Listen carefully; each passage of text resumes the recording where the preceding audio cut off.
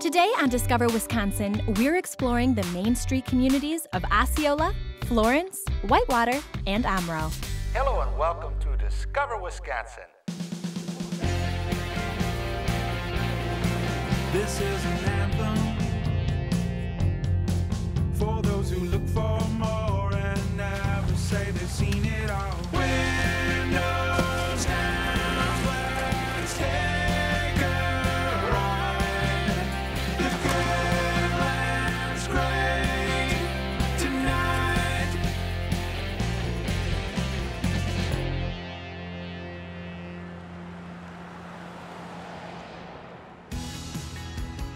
A community's main street is the beating heart of its town. It's the city center, it's full of history, and it's a gathering spot for residents and visitors alike. Today we're exploring four Wisconsin communities and the adventures to be had just off Main Street. About 30 miles north of Hudson and less than an hour away from the Twin Cities is our first stop, the oh so charming village of Osceola.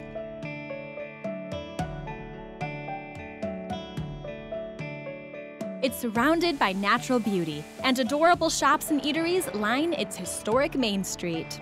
Now, Osceola is a really cool little river town, and the fact that it lies right here on the St. Croix River is a big part of the Osceola scene in general. In fact, you can actually kayak the St. Croix National Scenic Riverway. Riverwood Canoe offers a seven mile trip on the St. Croix River every day at four start times. We leave from our location here in downtown Osceola, bring people up to Interstate Park, and then they paddle the seven miles back downstream to Osceola Landing. It's really great for just about everybody. You see amazing cliffs, sandbars will emerge and people stop and have picnics. Wildlife is great. We give Osceola a way to connect people right to and from the river. So if my kayaking adventure down the St. Croix was very laid back and tranquil, well, my time at Trollhaugen was the complete opposite. Trollhaugen is a spot that's actually open year-round. During the winter months, it's a popular ski hill. From roughly April to October, it opens up in a completely different way. We have a 125 element aerial challenge course and we have a six line zip tour. And so you offer quite a few different levels for folks to consider. Well, behind us we have our kids course that is good for kids ages three to seven. And then for ages seven to 700, we have this big course right here. And you think just about anyone can do this? I think we're about to find out. That's the truth for sure. when I got to the top platform, I was thinking to myself, why did I do this? But by the time I was ziplining at the very end, I was like, yes. You just feel so good about yourself. And it just feels like you kind of conquered the world in an obstacle course. I would definitely do this again. It was probably one of the best experiences I've ever had in my life.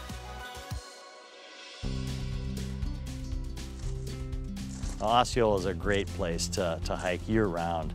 You'll get the best views and the most iconic scenery in the whole St. Croix River Valley.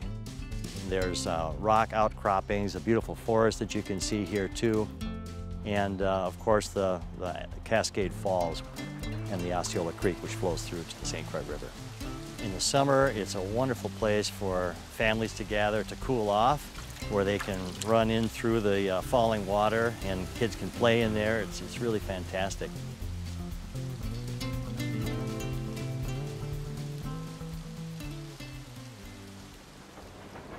Another fun way to take in the area's scenery is on the Osceola and St. Croix Valley Railway. The vintage locomotive departs from Osceola and winds its way along sandstone bluffs and colorful forests May through October.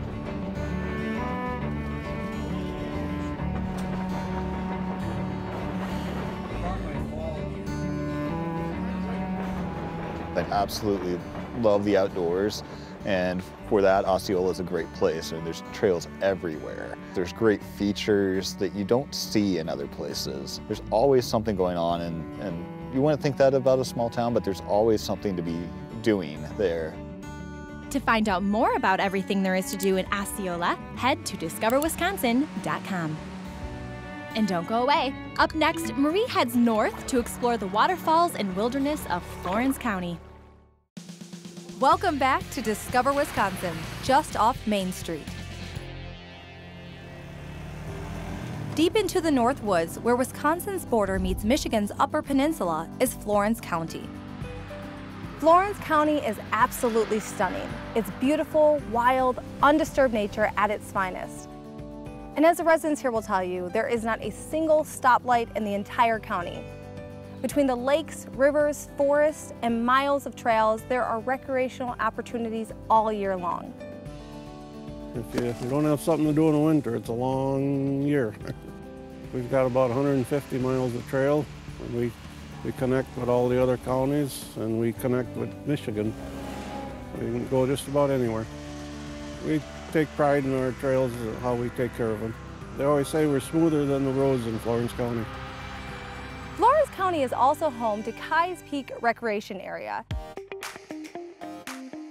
And every year they have an event called Winterfest, which offers families a full day of skiing, snowboarding, tubing, and tons of other fun winter activities. Winterfest is definitely geared towards families. It's a real low-cost way to give your kids a chance to try skiing, try snowboarding, get out and tube. We've got different types of slopes. There's the beginner slope to learn on. We've got intermediate slopes, and we've got double diamonds. We've got some extra kids activities down at the bottom of the hill, some little competitions with snowball launchers and human bowling. And we actually have the disc golf folks here today to give you tips on how to disc golf. About 50% of the land in Florence County is publicly owned, and it's home to nearly 200 miles of UTV and ATV trails.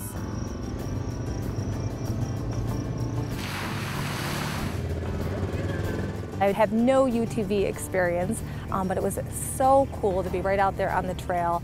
Um, actually really relaxing and tranquil, which is the opposite of what you would think it would be. It's a ATV, UTV paradise, what it amounts to.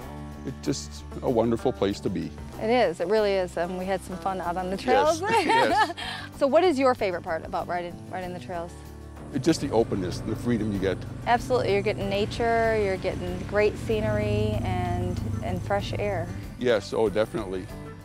When it comes to Florence County's trails, those on the water are equally as spectacular, giving a glimpse into Wisconsin's more remote and rugged river systems. The Pine and Popple River are the state's original wild rivers. What does that mean to be a wild river? Can you explain that a little bit? Well, it means that it's untouched, it's, it's undeveloped. Uh, you can experience the wildness of the river mm. that, that it had in the past and is brought forward and it exists now. There's no other protection quite like it in the state or in the nation. We did some canoeing around the Pine River Oxbow, which is really neat because the oxbow means that the river circles around and meets itself again. So it's the perfect uh, relaxing canoeing experience. The current just kind of takes you. You could do a little paddling or you can just take in the scenery around you.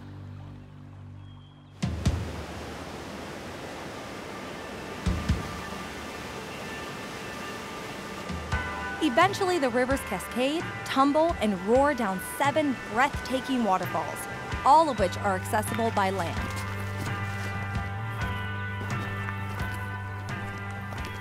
They're amazing places where the water flows over the rock. It's what draws us to rivers, and we get there and we, we're excited and we're a little afraid of them. And they stimulate so much sort of those intrinsic values of wildness that these rivers have. Between the rapids and the untouched wilderness, I've never seen anything or experienced anything like this in Wisconsin. It feels like you're a world away, but it's actually right in your backyard. Head to discoverwisconsin.com to download free itineraries for the four communities featured in this episode. When we come back, I'm visiting a college town with access to a gorgeous stretch of the Ice Age Trail. Stay tuned. Welcome back to Discover Wisconsin, where we're exploring four Wisconsin Main Street communities. Just miles away from the Kettle Moraine State Forest in southeast Wisconsin, set in a landscape rich with lakes, hills, and prairies, is the city of Whitewater. I would say it's the biggest little city in Wisconsin. We have the University of Wisconsin Whitewater here, which creates an, an, urban scene, an urban feel. But in addition to that, we've got a lot of real family-friendly, family-oriented activities all year long. Every Tuesday during warm months of the year and every Saturday during cold months, the Whitewater City Market convenes. It's a great opportunity to get the community together, to get an idea of what and who Whitewater is like. You can hear live music from a band that's playing in the background. We have a lot of delicious food and produce and knickknacks that people can come and enjoy. Whitewater is well known for the university out here, but it's also a lively community that values the land and wildlife around them.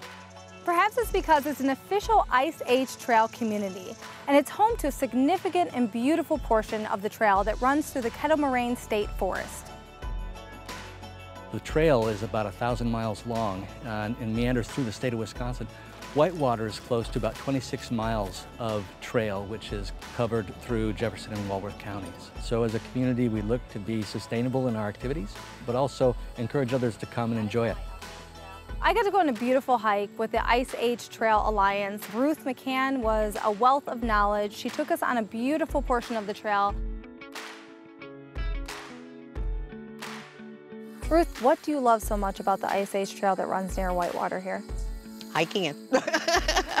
I hike every day, you know, and this is an opportunity that you have right outside your back door. It's accessible, and as you mentioned, it's the best way to see the state is to walk it. It is the best way to see the state of Wisconsin, and it's gorgeous. Yeah. You can't see it by yeah. bike, you can't see it by air, you can't see it by car, you have to walk it. You get to see features that you don't have, you'll never be exposed to sure. doing it any other way. Mm -hmm.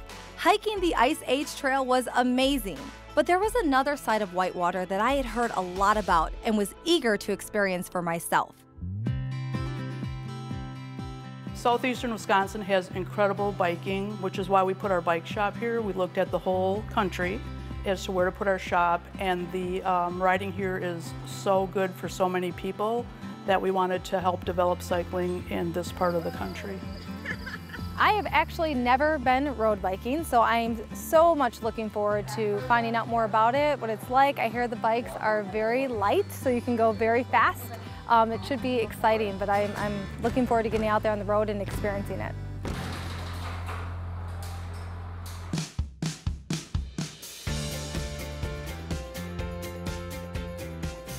There's so many country roads that are paved and they were originally paved for the farmers to bring the milk to the places they need to bring it to.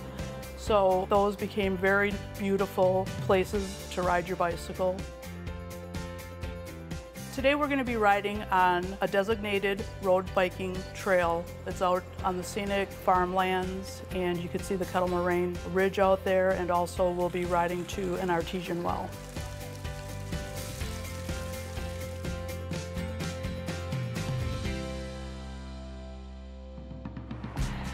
The Midwest is unique in all the world, I think, for friendly folks, but Whitewater has a corner market on that population. I think maybe it originated here. So we have just wonderful people that are willing to help you in any way. They'll come out of their way to be kind and neighborly, regardless of your background, what your own personal preferences and lifestyle is, there's a place for you in Whitewater, and everybody feels it. So I think that's probably the best thing about the community. Check out behind the scenes photos of our crew filming this episode at discoverwisconsin.com. When we come back, Mariah is off to Omro.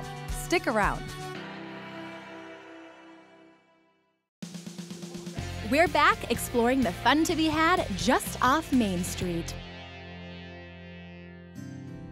Just minutes from Oshkosh, on the banks of the Fox River, is the city of Omro. Omro is a quintessential Wisconsin Main Street community with a rich history, small town pride, and lots of opportunities to get out and explore. I recommend starting your visit with the Omro Historical Walking Tour. So, would you say if someone's going to come to Omro, you can't leave without learning at least a little bit about its history here? It's almost impossible not to learn a, a little bit about the history. First of all, the architecture of the buildings on Main Street. But uh, years ago, some uh, people with a lot of foresight put together the historical walking trail, which is a, a self-guided trail. Um, you can walk it, you can bike it, uh, parts you can drive it, and every building of significance has a plaque This is the bell tower, the famous bell tower, whose uh, picture in Life magazine showed the arm of Ken Cady reaching out and adjusting the arms of the clock. And I kind of want to recreate it, so Oh, let's all see if we can find the clock. All right, well, you got to have those arms like Ken. Oh, I you brought my biceps. Okay. I climbed up to the bell tower and recreated a famous photo, which was super fun to do. I think that's one of the best ways to take in a town that you're a little unfamiliar with, is first learn about that city's history. Omro is located in the heart of the Fox River Valley, and the river is a huge part of the city's lifestyle, especially when it comes to recreation and celebration. And one of the many amenities offered by the city is free kayak and canoe rentals available at Stearns Park. We have a cabin on the river and we decided to take up kayaking. Paige was probably about 13 years old, so kids were old enough, so we started doing it as a family. You don't have to be athletic to do it or strong. You can just float or you can give yourself an exercise. It's something fun and active that we do um, together, and that's kind of hard to find, especially when you have teenage kids or older kids. So it's just a free, fun way to spend the day.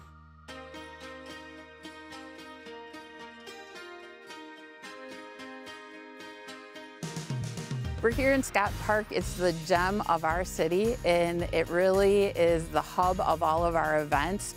Omro's 4th of July celebration is truly one of a kind. We get 8 to 10,000 people coming to our small town of only 3,500 annually. There's kids activities, there's the community band that plays in the afternoon, then a duck race. The duck race is 2,000 ducks going down our lagoon, which is pretty exciting.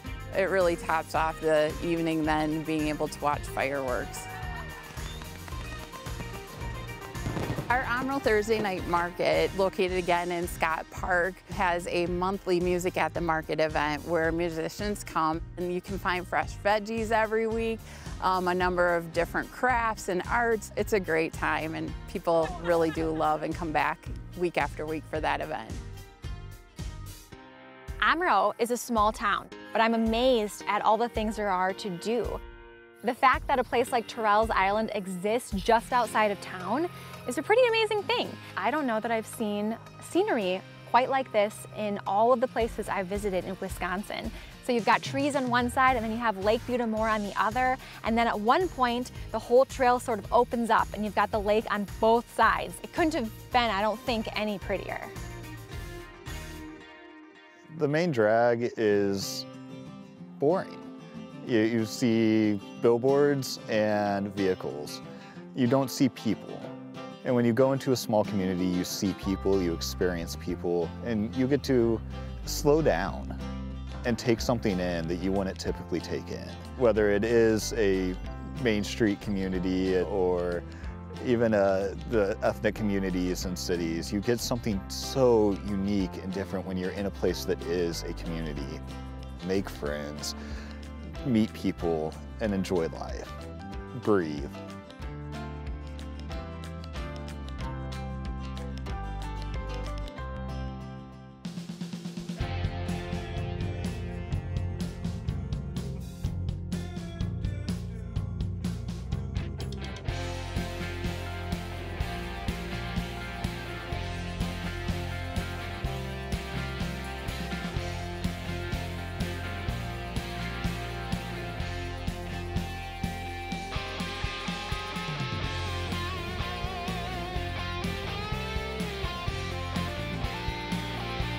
Stream Discover Wisconsin anywhere, anytime. Continue the adventure on Apple TV, Amazon Fire, Roku, Chromecast, Smart TV, and discoverwisconsin.com.